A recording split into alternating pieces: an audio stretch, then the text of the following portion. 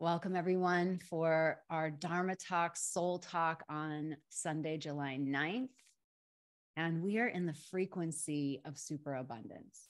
I'm really excited to be giving this teaching today. And as some of you know, I did a Shift Network course on opening the portals of superabundance. And this work just keeps getting deeper and deeper. And I, I received that term from a light body activation that happened in January. And then the gene keys, this gene key 53. And it is the shadow of immaturity, the gift of expansion, and the siddhi of superabundance. So I'm asking those who are hearing and listening now to have the ears to hear and the eyes to see, because this is not ordinary reality. So, if you remember from some of the transmissions prior, we started to create a map of the imaginal world. And that map is a mystical map, and it comes from mystical traditions. Every major religion has a mystical tradition. And in those traditions, the way they say God may be different, but what they're pointing to is the same. And mysticism is the branch that has left dogma. It uses the structure of that religious tradition to anchor as like banks to a river. But it doesn't get bogged down with dogma and with rules and law. And that was indeed what Christ came to earth, the embodiment of heaven on earth, walked feet on earth in order to bring the understanding that the kingdom of God is in your heart. It is not a literal place, it's not something that you can check the box. It is not something that you can follow a rule and get in.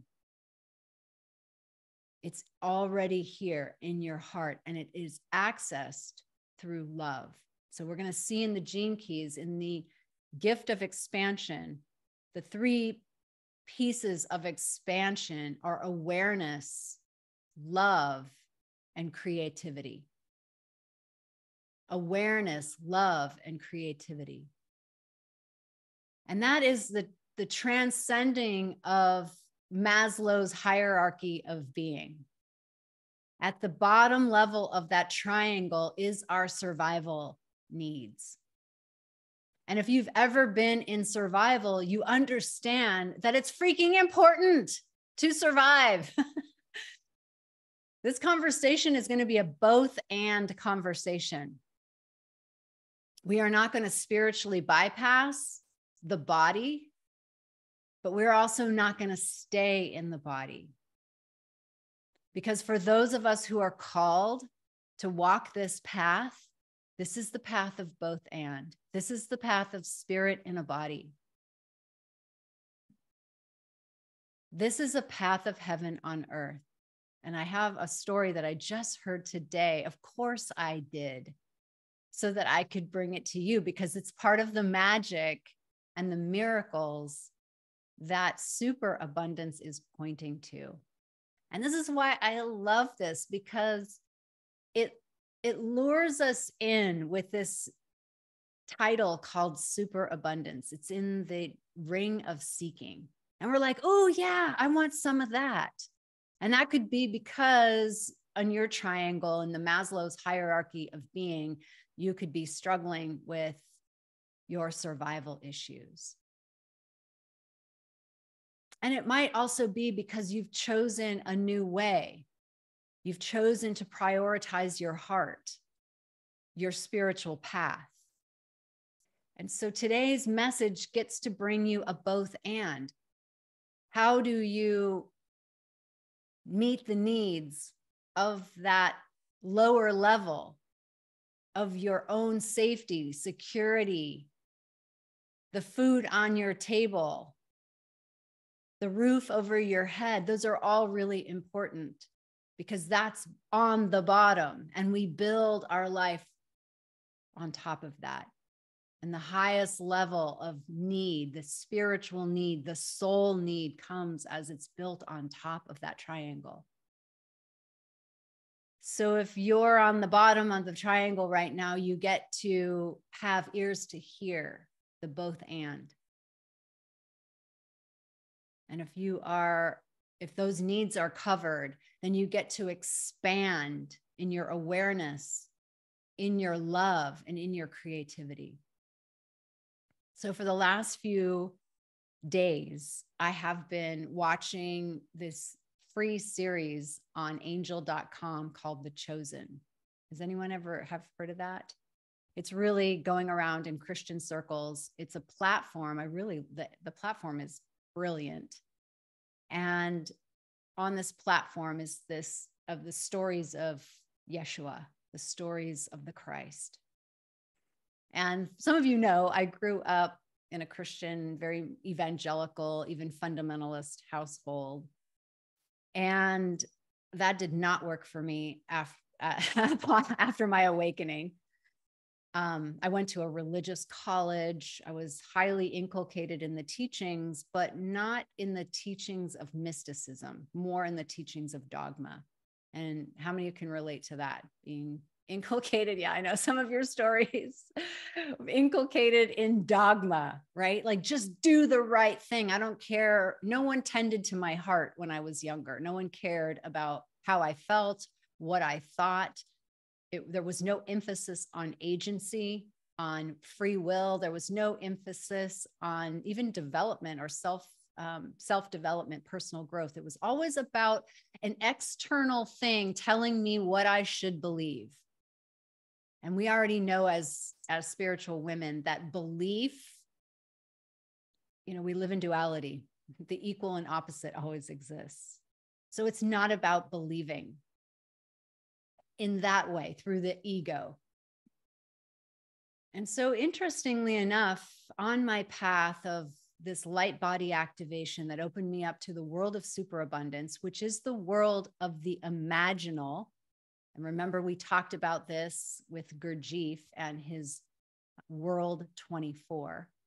So, for those of you who don't remember, you can go back to the teachings um, from a couple weeks ago. And if I can remember which one it was, I will put it in the notes. And those teachings about the map of the imaginal world share with us that the rules that exist in three dimensional reality do not exist on, on level or world 24. There are rules that do exist. There are 24 of them, and that's where the, na- the number comes from. So there, there are half, half of the rules that live here. Here we have the density of rule of world 48. But there is no, there's accidents, there's there's luck, but that's not the world of magic and serendipity. That comes from the imaginal world. So I want to connect those teachings because we're going to bring in the world of miracles.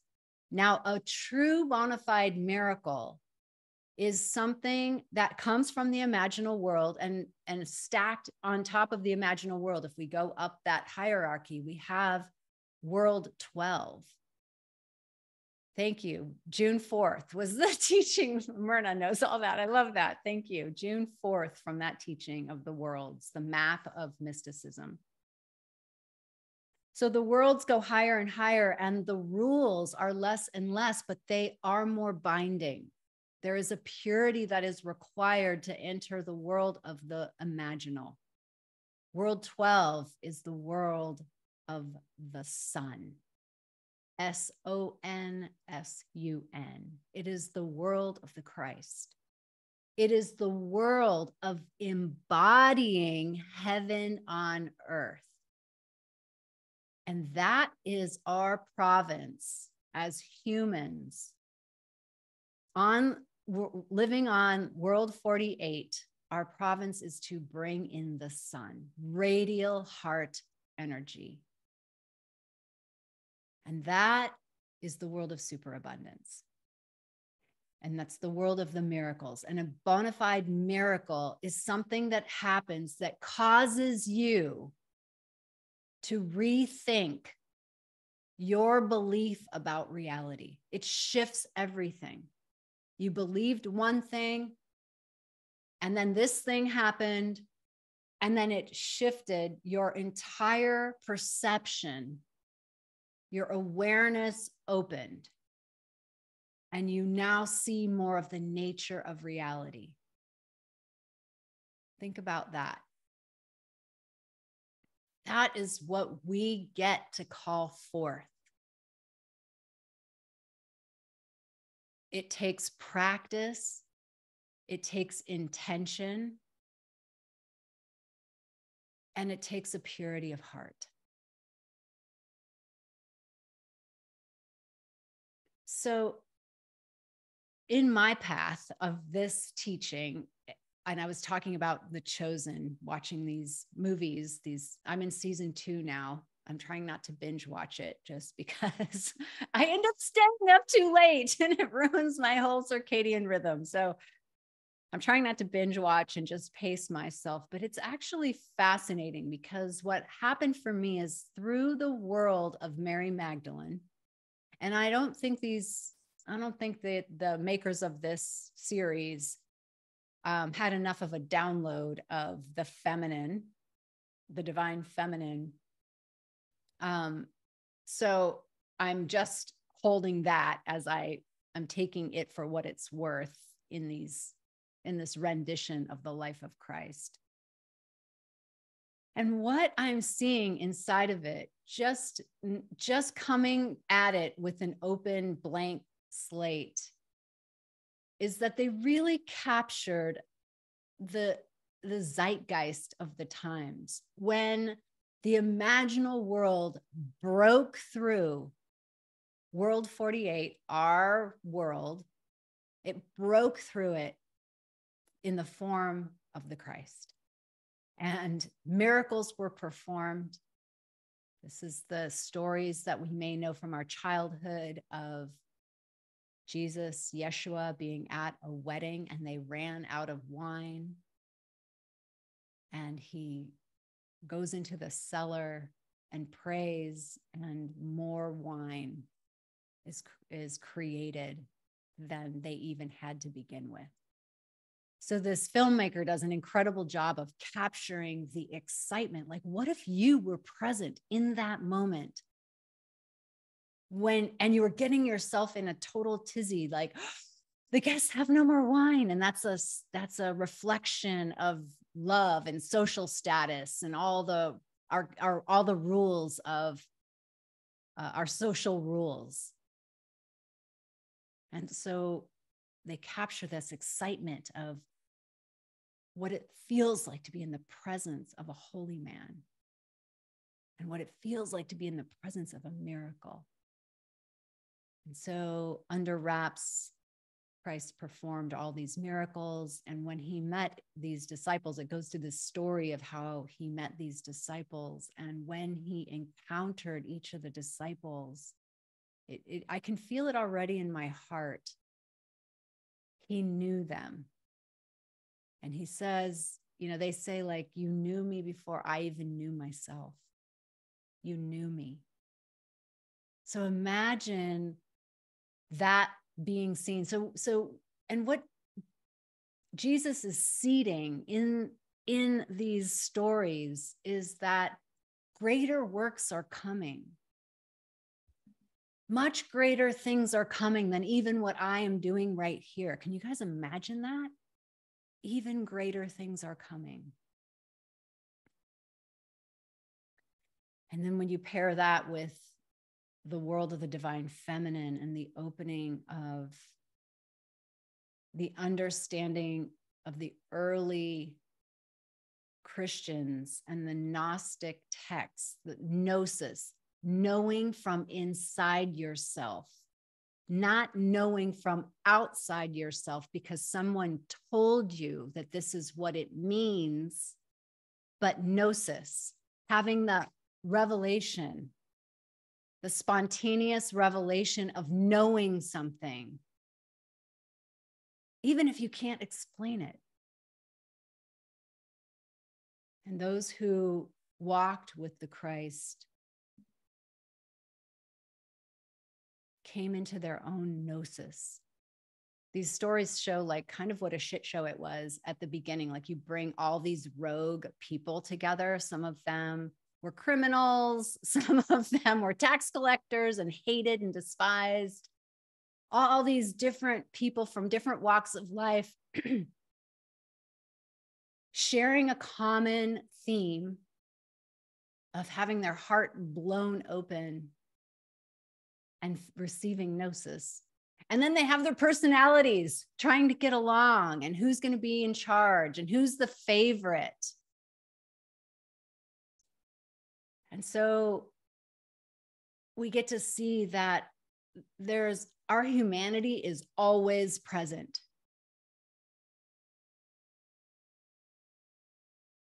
And as a part of our evolutionary development, Ken Wilber talks about this in the integral theory. There's states and stages.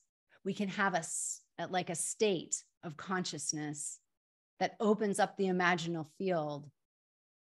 And we can still be at a lower level of worldview, a low stage.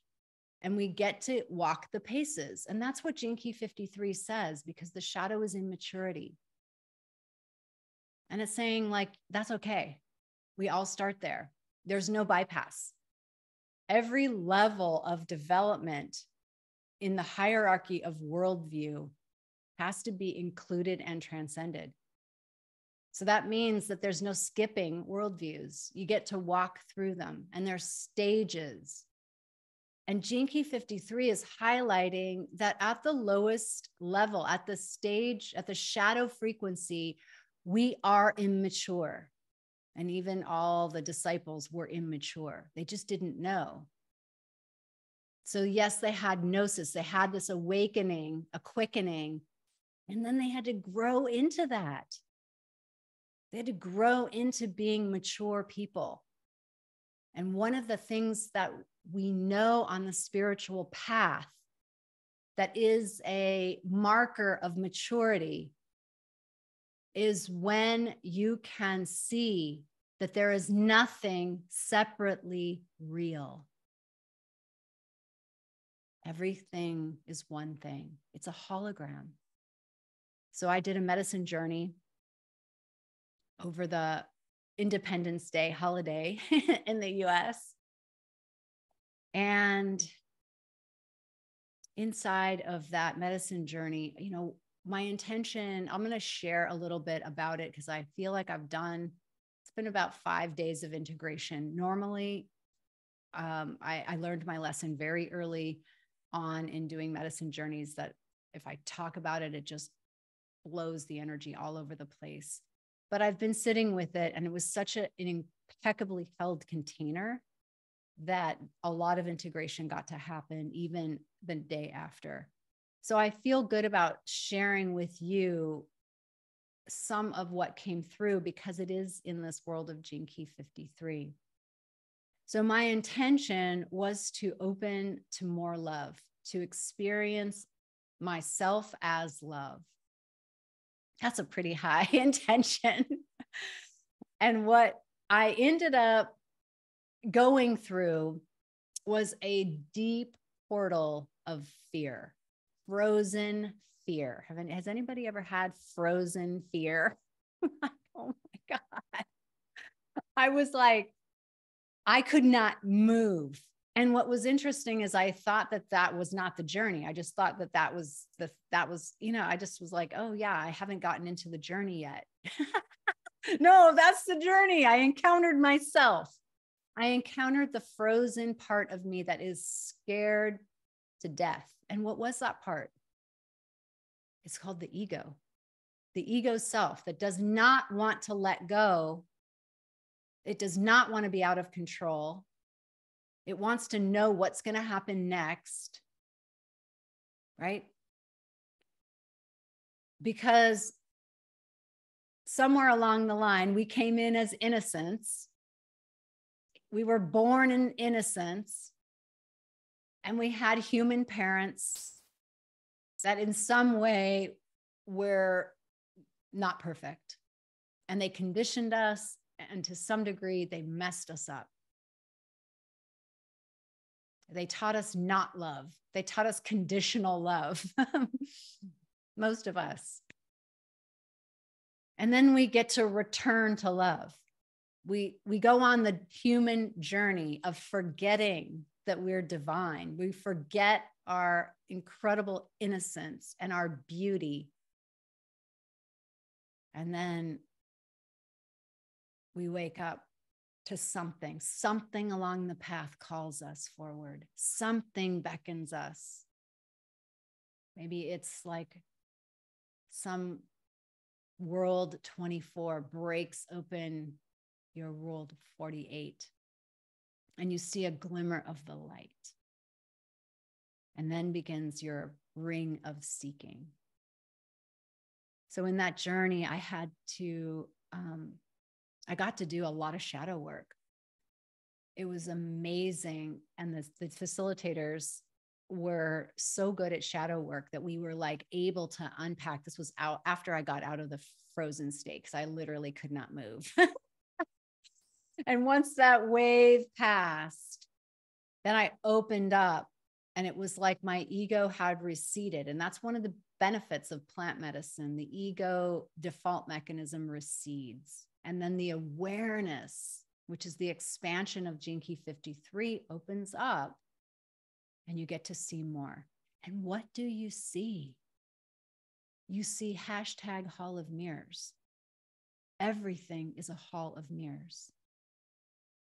It is not apparent to the ego mind. The ego mind is about separation me and you, and you're doing stuff to me, right? And you caused this. When I uh, got picked up from the airport, my friend was sharing with me about her husband, and they have some tensions. And I said, Yeah, I know that it looks that way. I know that it looks like it's over there. I get it hashtag hall of mirrors.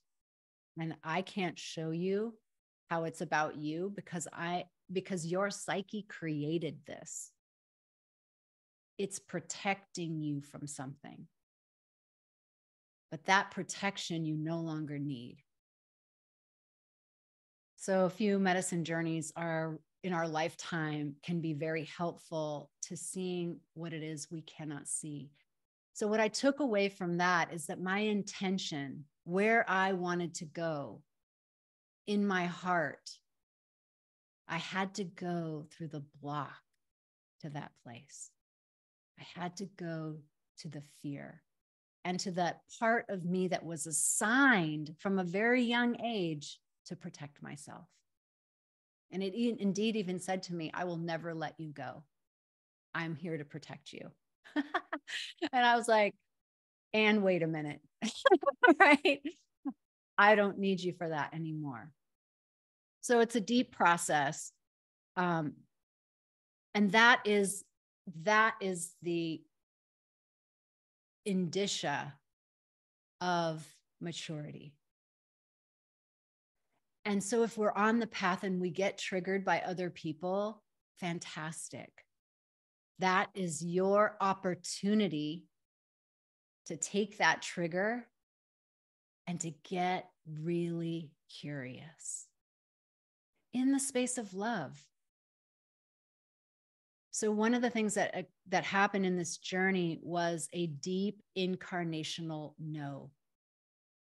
So I started to understand that what that what I was experiencing as the journey progressed was this moment before I incarnated and I took on the suffering of my mother. I realized that I that I was a no. Has anyone ever had that experience like you could feel that a part of you said no to wanting to be here? Yeah.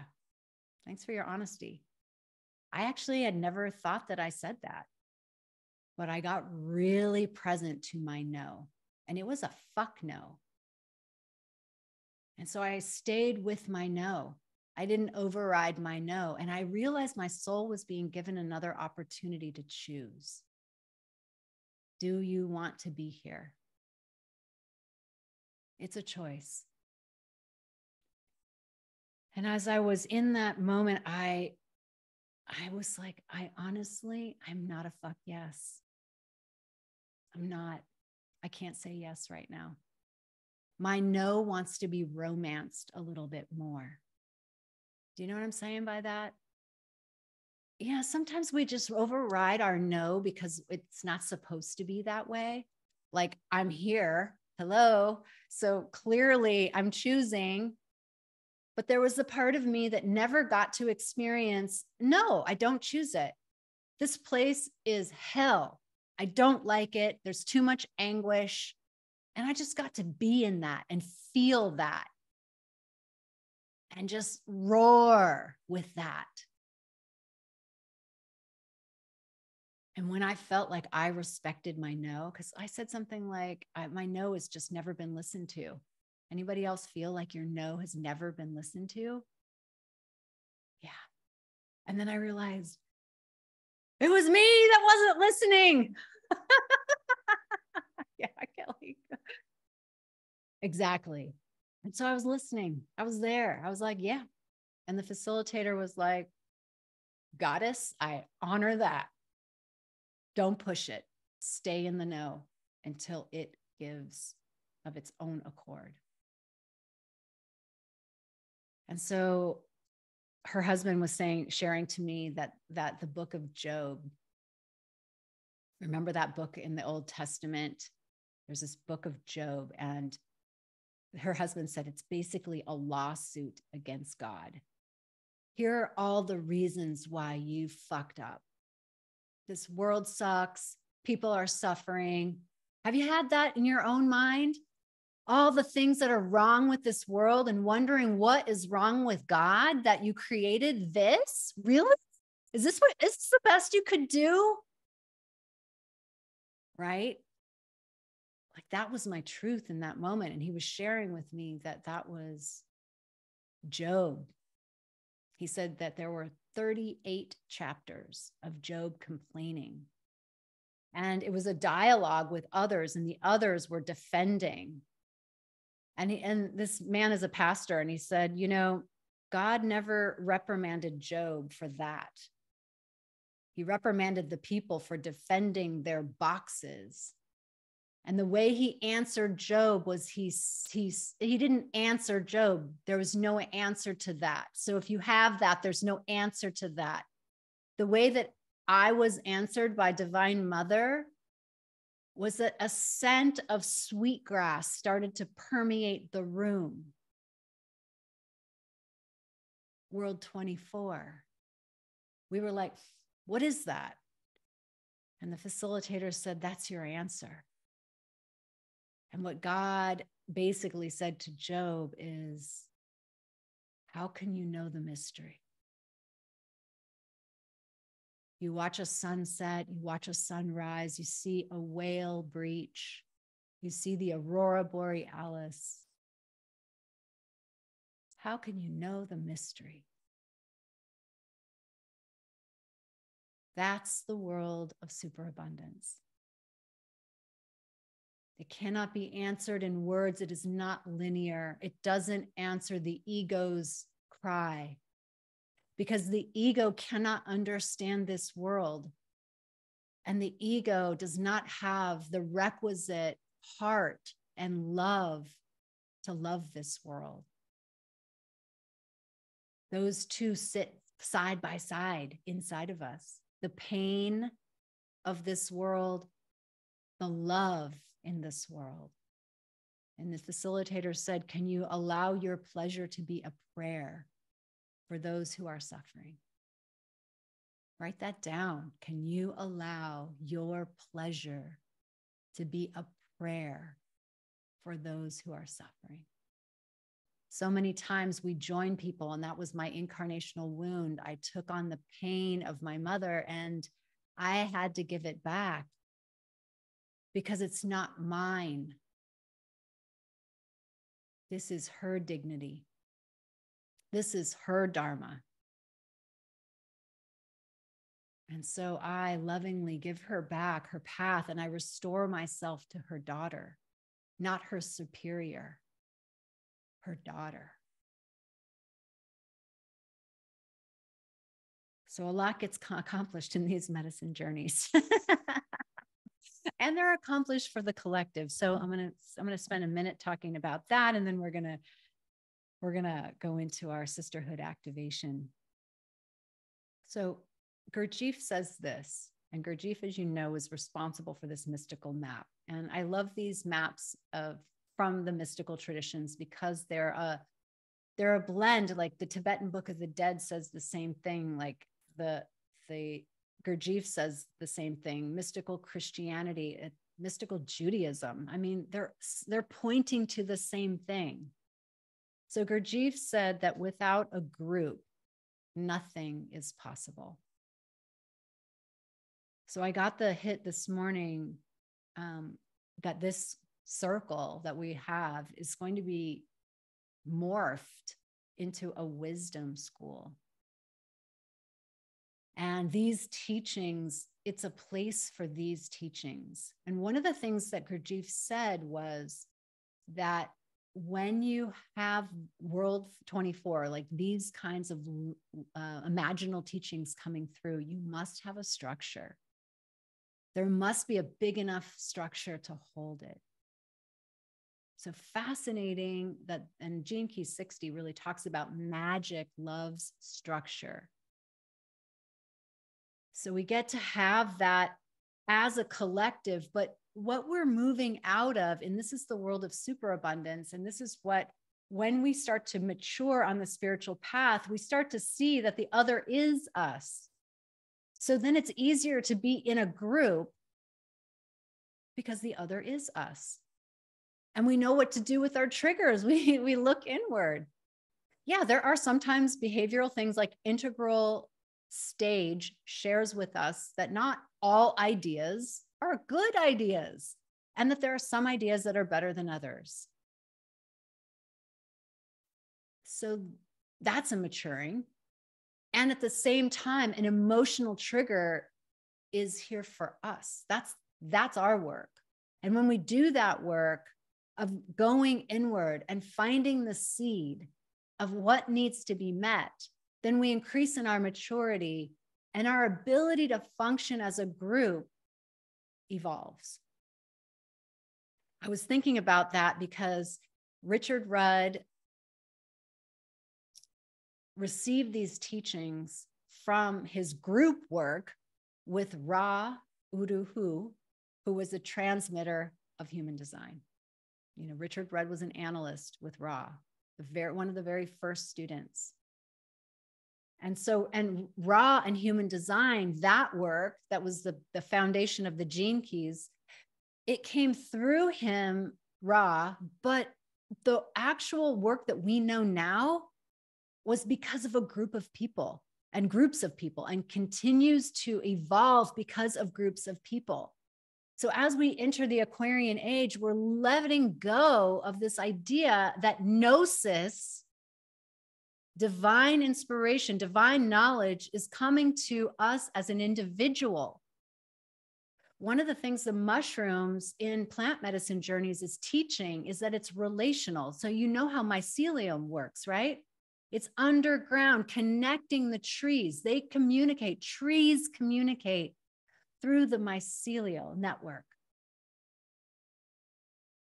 So, that phrase, it takes a village, is very true. And inside these journeys, we get pieces of the puzzle. No one has the whole piece because light is filtered through our consciousness, through our template.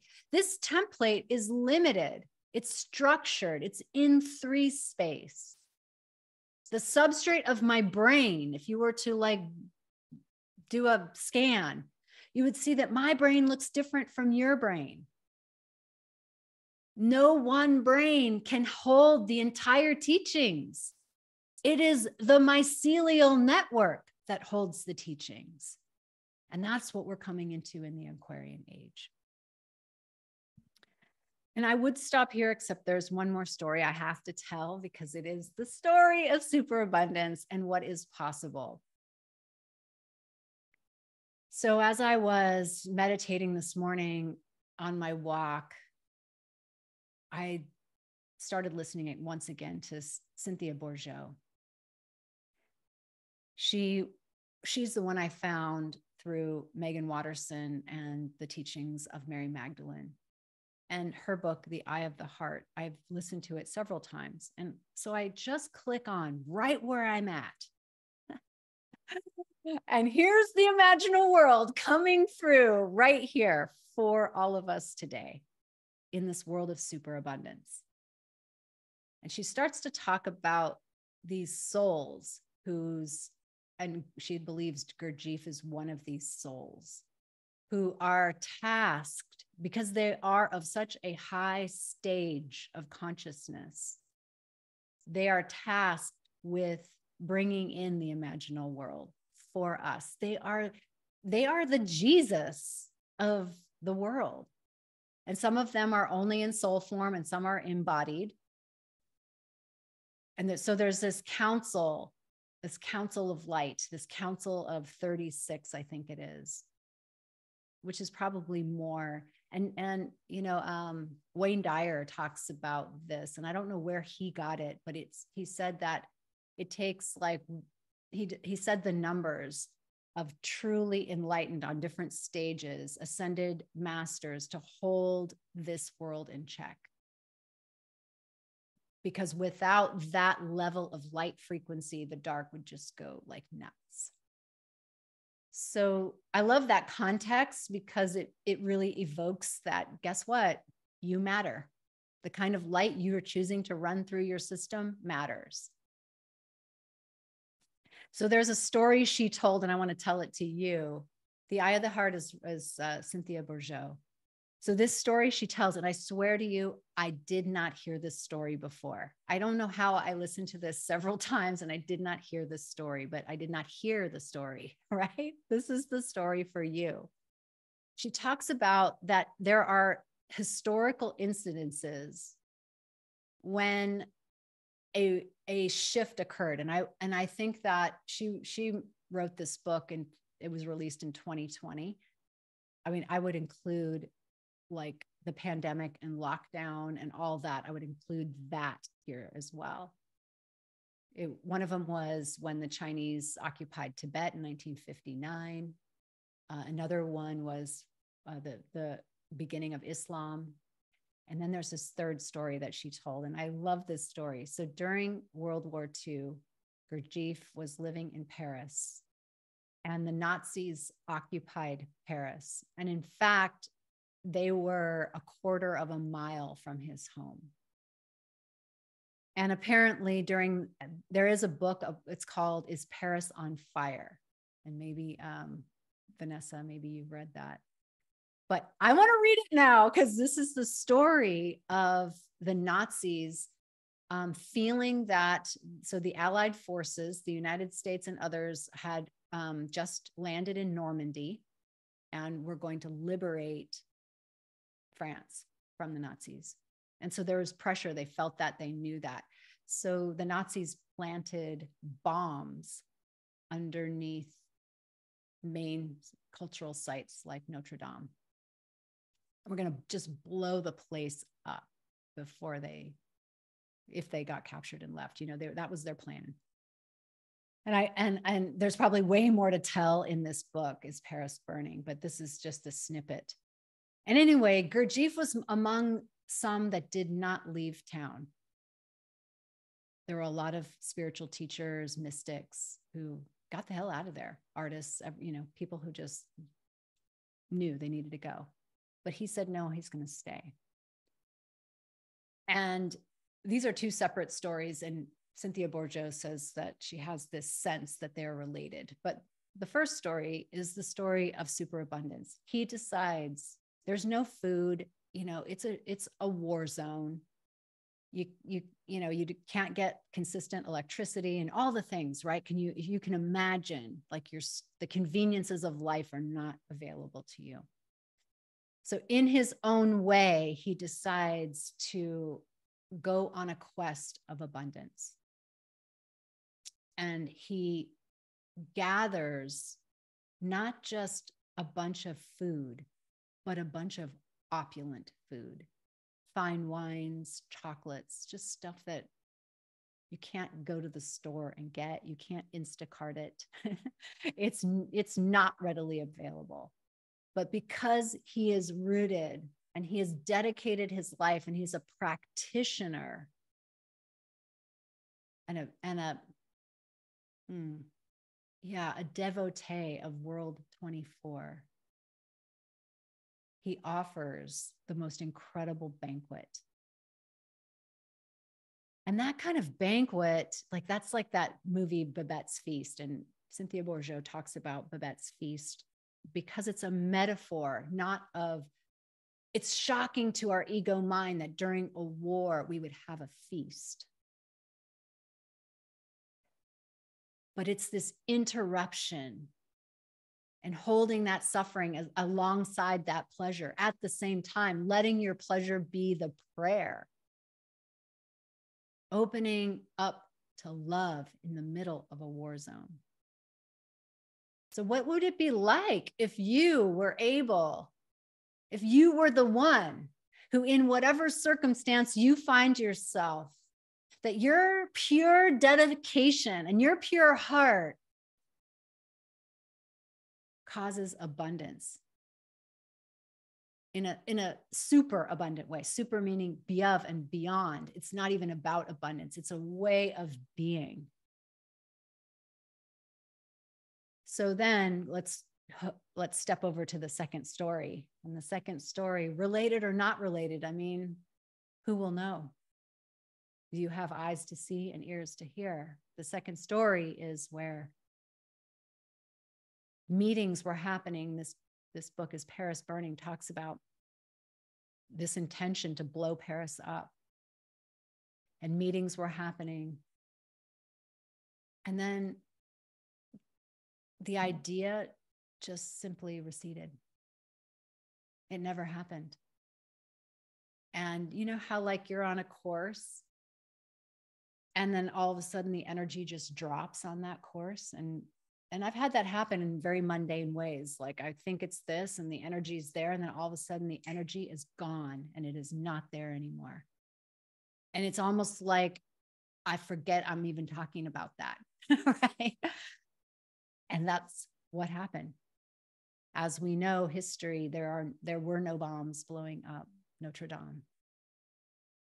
And so Cynthia Bourgeault says, you know, I don't know and I can't prove it, but is are those two related? And maybe we just leave it as a question Are those two related? Because the world of the imaginal, the world of superabundance, does not function in physical but for causality. It's not linear. It has a whole other, it's like chaos theory. It has all kinds of spherical three dimensional relationships, not linear two dimensional relationships, spherical relationships. And those spherical relationships, like, like the famous chaos story of like a, you squash a butterfly and some, you know, an earthquake happens in China, you know, like they're the relationship of all of us because we are all one. And so the move from immaturity is the move to seeing our oneness. And the first step along the way is to wake up from the dream of the separate self. And that opens the gateway to the imaginal world.